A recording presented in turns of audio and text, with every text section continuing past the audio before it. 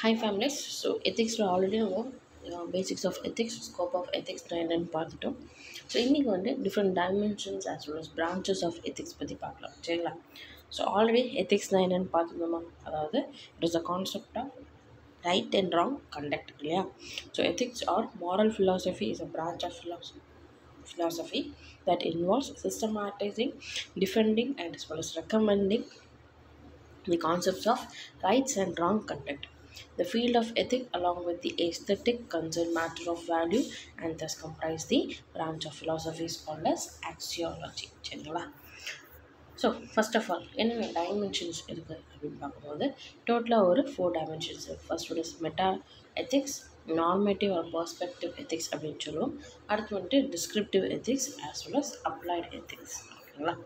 So first of all நம்ம descriptive எத்திக்ஸ்னால் என்ன அப்படிங்கிறத பார்த்துடலாம். So descriptive ethics is nothing but as an empirical investigations of people's moral belief on the basis of law and customs சரிங்களா? So பீப்புளோட moral belief based on the law as well as customs இருந்துச்சு அப்படின்னா இது வந்துட்டு நம்ம descriptive ethics அப்படின்ட்டு சொல்லுவோம். It studies the history as well as evaluation of ethics and gives a record of certain taboos, customs and conventions. அதாவது ஒரு future அதாவது நம்ம பாஸ்ட்லேருந்து நம்ம ஒரு விஷயத்த ஃபாலோ பண்ணிகிட்டே இருக்கோம் ஹிஸ்ட்ரி எவல்யூஷன் அதாவது ஃபாலோ பண்ணிகிட்டே இருக்கோம் அப்படின்னா அதை வந்துட்டு நம்ம கண்டினியூ பண்ணணும். இல்லையா? அது வந்துட்டு ஒரு டேபு மாதிரி க்ரியேட் பண்ணிடுது இது வந்துட்டு சரி இது வந்துட்டு தப்பு. இது வந்துட்டு இந்த கஸ்டம் தான் நம்ம ஃபாலோ பண்ணணும் அப்படின்ட்டு ஒரு ஐ ஒரு டிஃபால்ட்டாக நம்ம ஃபாலோ பண்ண ஆரம்பிச்சிடும் அதை விட்டு நம்ம டிஃப்ரெண்ட்டாக ஏதாவது பண்ணுறோம் அப்படின்னா அது வந்துட்டு நமக்கு அன்எத்திக்கல் அப்படின்ட்டு தெரியும் இல்லையா? ஸோ இதுதான் வந்துட்டு என்னென்னா descriptive ethics so best example of descriptive ethics என்ன அப்படின்னு பார்க்கும்போது Kohlberg's theory of moral consciousness அது வந்துட்டு பெஸ்ட்டு எக்ஸாம்பிளாக நம்ம சொல்லலாம். ஓகேங்களா? அடுத்து வந்துட்டு normative ethics.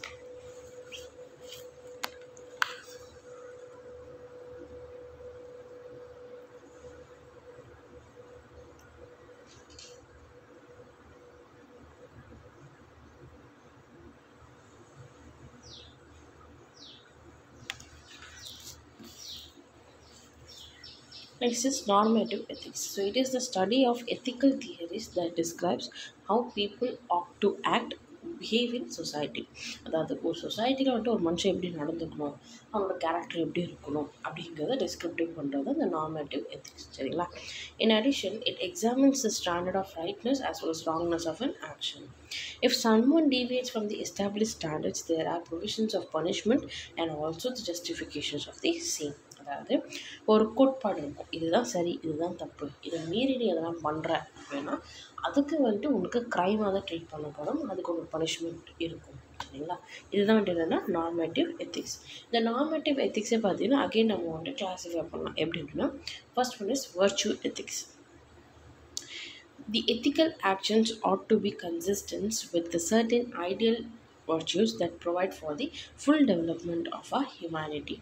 These virtues are of dispositions and habit that enable us to act according to the highest potential of our character and on behalf of the values like truth, honesty, courage, compassion, etc. So its foundation laid by Plato, who said that justice and other virtue as harmony of a soul. So Plato என்ன சொல்கிறாரு அப்படின்னா justice நீதி நியாயமும் and other வர்ச்சூஸ் எல்லாம் பார்த்திங்கன்னா ஒரு harmony of soul அப்படின்னு சொல்கிறாங்க அதாவது ஒரு மனுஷன் வந்துட்டு உண்மையாக இருக்கணும் நேர்மையாக இருக்கணும் கரேஜ் அஸ் வெல் கம்பாஷனேட்டாக இருக்கணும் அப்படின்ட்டு சொல்கிறாரு according to the virtue internal qualities and brave man can be brave even if he never has an opportunity show it அதாவது அவனோட நேர்மையை வந்துட்டு ஒரு இடத்துல போய் வெளிக்காட்ட முடியல டேலண்ட் இருக்குது பட் வெளியில் காட்ட முடியல. அப்படின்னா கூட அவன் வந்துட்டு ஒரு பிரேவ் மேன் தான் சரிங்களா? அவனோட இன்னர் குவாலிட்டிஸ் தான் வந்துட்டு அவன் பிரேவாக இல்லை அப்படிங்கிறத டிட்டர்மைன் பண்ணோம். Even if he has a chance to show case his inner qualities are not ஓகேங்களா? அது இம்பார்ட்டன்ட் கிடையாது.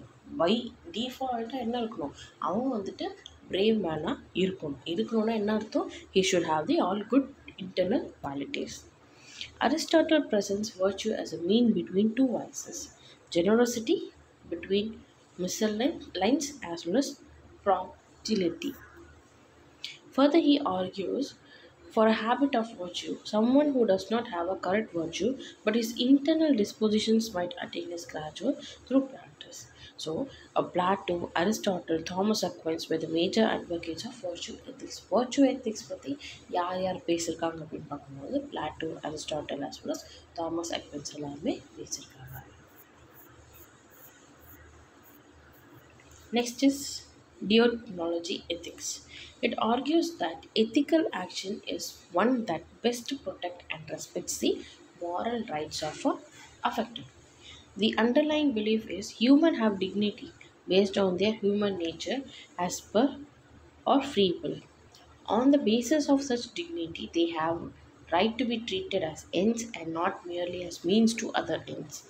Means are more important than ends. So, அதாவது எண்டு அப்படின்னா என்னென்னா இப்போ நம்ம ஒரு வேலை செய்கிறோம் அதோட ரிசல்ட்டு தான் நம்ம எண்ட் அப்படின்னு சொல்கிறோம் அந்த ரிசல்ட்டு கிடைக்கிறதுக்கு நம்ம இன்பிட்வீனில் நிறையா ப்ராசஸ் பண்ணியிருப்போம் இல்லையா? நிறைய ப்ராசஸ் பண்ணியிருப்போம் நிறைய ப்ராக்டிஸ் பண்ணியிருப்போம் இதெல்லாம் என்ன சொல்கிறோம்னா மீன்ஸ் அப்படின்னு சொல்கிறோம் ஃபார் எக்ஸாம்பிளுக்கு நம்ம இப்போ ஒரு காம்படிட்டிவ் எக்ஸாம்ஸ்க்கு படிக்கிறோம். இதுதான் வந்துட்டு நம்மளோட ஸ்டார்டிங் பாயிண்ட் எண்டு பாயிண்ட் என்னவாக இருக்கும்? கவர்மெண்ட் ஜாப்பை வாங்கிடணும்.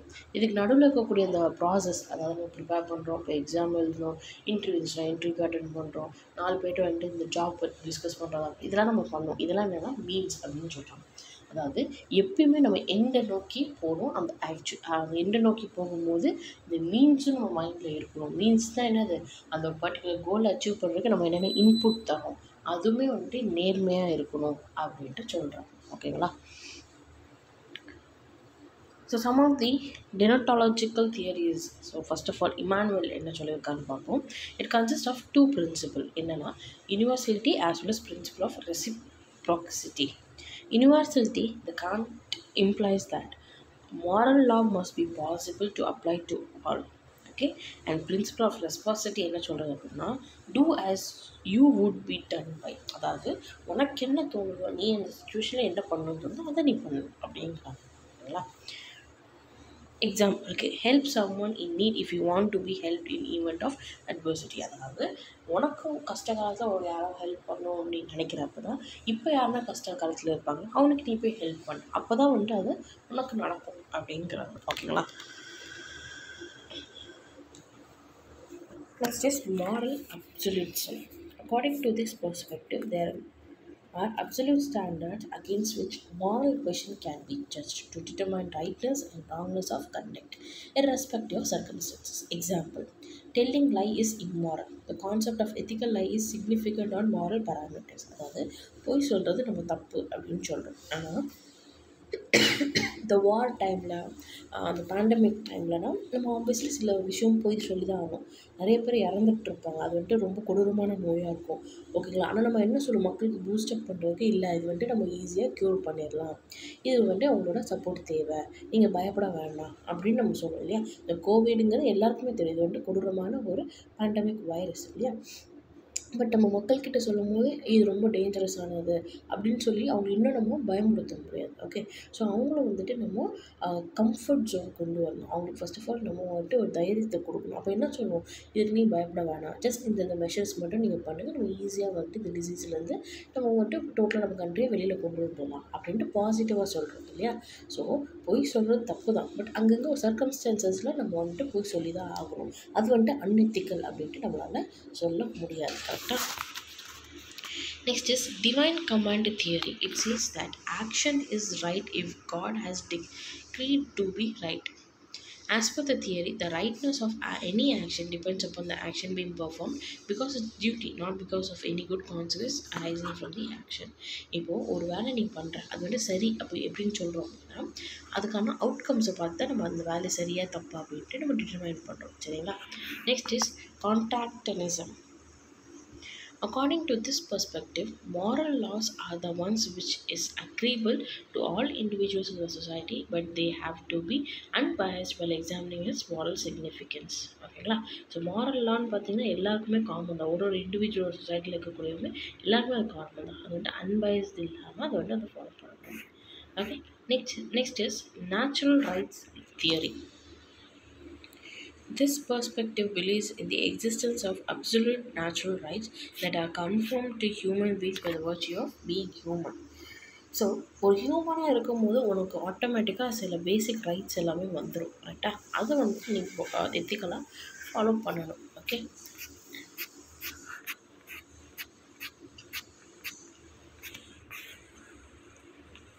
Next is teleological ethics.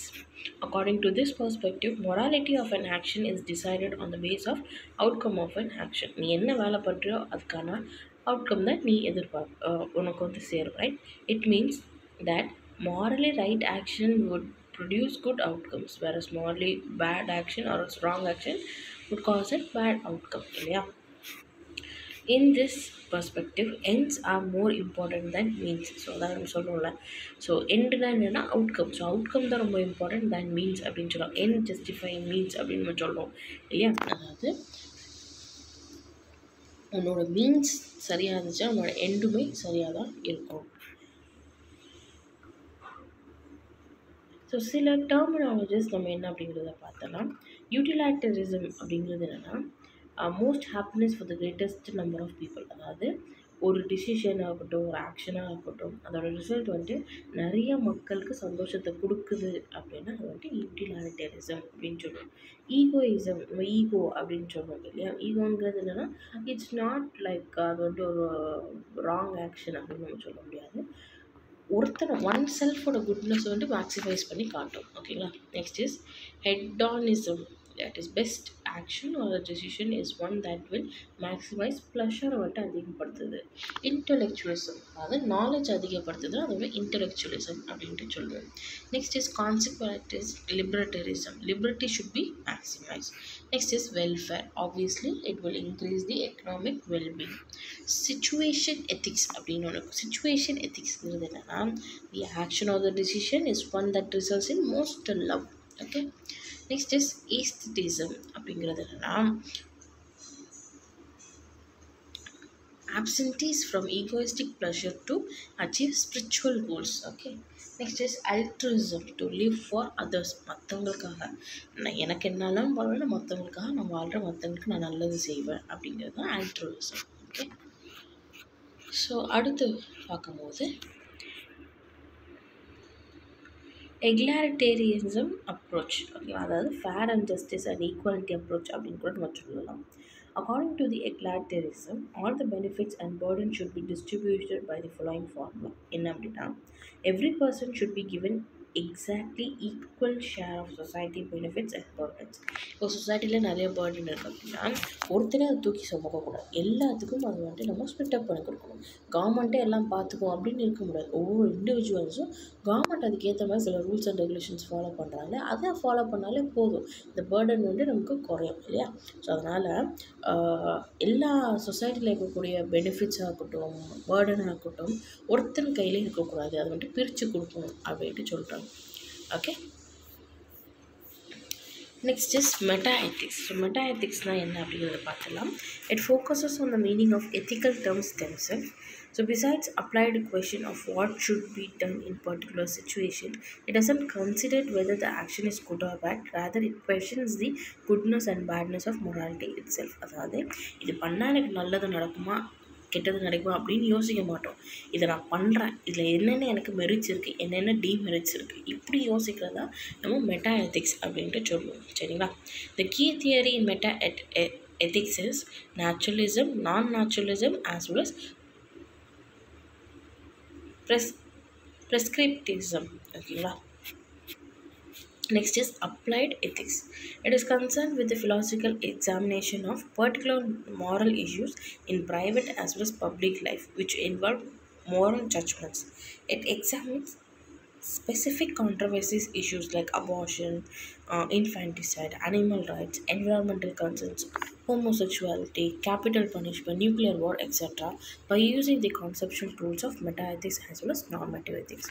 So normative ethics என்னது ஒரு action of goods as well as bad outcomes okay இப்போ நீ குட் ஆக்ஷன் பண்ணுனா உனக்கு ஒரு குட் அவுட்கம் வரும் பேட் ஆக்ஷன் பண்ணுறப்ப பேட் அவுட்கம் வரும் ரைட்டா மெட்டா எத்திக்ஸ் நம்ம என்னென்னு பார்த்தோம்னா இப்போ நான் ஒரு ஆக்ஷன் பண்ணுறேன் நான் எண்டை பற்றி நான் கவலைப்படல. இப்போ நான் ப்ரெசென்ட்டாக பண்ணிட்டு இருக்கேன் இந்த மீன்ஸு கரெக்டாக தப்பாக நான் ஜட்ஜ் பண்ணுறேன் ஓகேங்களா ஸோ அதே தான் அப்ளைட் எத்திக்ஸ்னு பார்க்கும்போது it is a combination combo of good meta ethics as well as formative ethics சரிங்களா?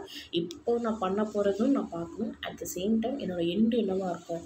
அதையும் நான் யோசிக்கணும். ஓகே ஸோ இப்போ அப்ளைட் எத்திக்ஸ்னு பார்ப்போம். கரண்ட் ஜென்ரேஷனில் சில நிறையா இஷ்யூஸ் போயிட்டுருக்கு. லைக் அபோஷனாக இருக்கட்டும் இன்ஃபான்டிசைடாக இருக்கட்டும் அனிமல் ரைட்ஸு என்வரான்மெண்ட் இந்த மாதிரி ஏகப்பட்ட ப்ராப்ளம்ஸ் வந்துட்டு போயிட்டுருக்கு. ரைட் இதை வந்துட்டு நம்ம ரெண்டு விதமாகவும் நம்ம சால்வ் பண்ணணும். இப்போ பண்ணிட்டு இருக்கக்கூடிய ஆக்ஷனோட மெரிட்ஸ் டிமெரிட்ஸும் நம்ம மைண்டில் வச்சுக்கணும். அட் த சேம் டைம் நமக்கு ஃப்யூச்சரில் வரக்கூடிய எண்டு அவுட்கம் இருக்குல்ல ஃபைனல் அவுட்கம் அதையும் மைண்டில் வச்சு தான் நம்ம பண்ணணும். ஓகேங்களா ஸோ இதுதான் வந்துட்டு applied ethics next is normative principles of applied எத்திக்ஸ்னால் என்னென்னு பார்க்கலாம். ஸோ சில பிரின்சிபல்ஸ் இருக்குது அதில் என்னென்னு பார்க்கணும். First of all personal benefit personal பெனிஃபிட்டுங்கிறது என்னது? அந்த இண்டிவிஜுவலுக்கு அது பெனிஃபிட்டாக இருக்கா இல்லையா? நெக்ஸ்ட்டு சோஷியல் பெனிஃபிட் அதனால் சொசைட்டிக்கு எதுனா பெனிஃபிட்ஸ் இருக்கான்னு பார்க்கணும். அடுத்து prevalence of principle of benevolence ஓகேங்களா? ஹெல்ப் தோஸ் இட் நீட்ஸ் யார் நீ நீட்டில் இருக்காங்களோ அவங்களுக்கு போய் ஹெல்ப் பண்ணுறது next is principle of paternalism okay uh, assist others in pursuing their best interest when they cannot do so themselves. Principle of harm so மற்றவங்களை நம்ம ஹார்ம் பண்ணக்கூடாது. பிரின்சிபல் ஆஃப் ஹானஸ்டி எந்த காரணத்துக்காகவும் நம்மளோட நேர்மை நம்ம விட்டு கொடுக்கக்கூடாது. லாஃபுல்னஸ் அதாவது நம்ம எப்பவுமே லாவை வயலேட் பண்ணக்கூடாது. சரிங்களா? அடுத்து அட்டானமி அதாவது acknowledge of principles is freedom over his actions of physical body ஓகேங்களா நெக்ஸ்ட்டு ஜஸ்டிஸ் ரைட்ஸ் ஓகேங்களா ஜஸ்டிஸ் நமக்கு தெரியும். நீதி நேர்மை நியாயம் இதெல்லாம் ஃபாலோ பண்ணணும் ஓகேங்களா rights personals right to life information privacy as well as the free expression இதெல்லாம் அவங்களுக்கு நம்ம கொடுத்து தான் ஆகணும் okay the first two principle personal benefit as well social benefits are consequentialist அதாவது பர்சனல் ஆஸ் வெல் பர்சனல் எனக்கு அது சரிப்படுது நான் பண்ணுறேன் எனக்கு அது நல்லது நான் பண்ணுறேன் அப்படின்னா நீ நல்லது உனக்கு அது நல்லது ஆனால் சொசைட்டிக்கு அது நல்லதா அப்படிங்கிறது நம்ம யோசிக்கணும். ஓகேங்களா? சொசைட்டிக்கு நல்லது நான் நானும் பண்ணுறேன் ஆனால் அல்டிமேட்டாக உனக்கு அது நல்லது அதையும் நீ யோசிக்கணும். ஓகேங்களா ஸோ இது வந்துட்டு டூ இன் ரெண்டுமே ஒன்றுக்கு ஒன்று இணைந்தது தான். ஓகேங்களா பிரிக்க முடியாது. Okay as well as principle of benevolence paternalism harm etcetera இது எல்லாமே பார்த்தீங்கன்னா based on the duty okay and principle of autonomy justice இது எல்லாமே பார்த்தீங்கன்னா based on the moral rights பற்றி இருக்கும். ஓகேங்களா ஸோ இன்றைக்கி நம்ம பார்த்தீங்கன்னா different dimensions or different types of ethics அப்படிங்கிறத நம்ம பார்த்துருந்தோம் சரிங்களா? ஸோ டோட்டலாக பார்த்தீங்கன்னா ஒரு நாலு டைப்ஸ் இருக்குது ஓகே ஸோ எத்திக்ஸ் என்னென்னு பார்த்தோம் different dimensions and branches of எத்திக்ஸ்னு பார்த்தோம்னா டோட்டலாக ஒரு ஃபோர் டைப்ஸ் இருக்குது என்னென்னு பார்க்கும்போது meta normative or perspective next is descriptive next is applied ethics சரிங்களா?